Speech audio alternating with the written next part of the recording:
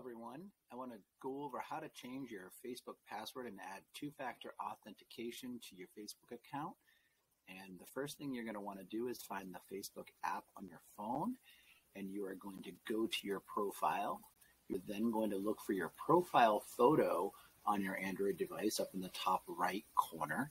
And you're going to see all the shortcuts and you're going to see a setting for settings and privacy. And here you're going to have a lot of different options. I'm just going to scroll through and show you all the different options here as you're logged in under a very specific account, the one you want to change your password for. And you'll see settings and privacy. And now we're going to scroll back and we're going to click on settings. So once we're under settings, which uh, we'll be right back into in a minute, settings and privacy, you want to make sure that you know where settings is because under settings, when you search your profile settings and you scroll down, it's going to go to security. And under security, you're going to see some options here for how to change your password. So under security and login, under security, you're going to see right there the option on login to change your password. It's a good idea to use a strong password that you're not using for anything else. Um, but also look that there's advanced settings on safe browsing, learning more about security, but you're going to want to go to change your password.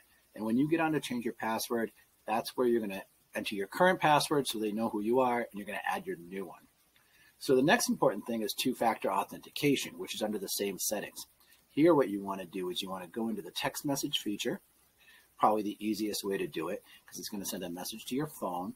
You're going to provide your phone number, and then what you're going to do is your phone is going to get a text message with a, a code that you're going to need to enter here.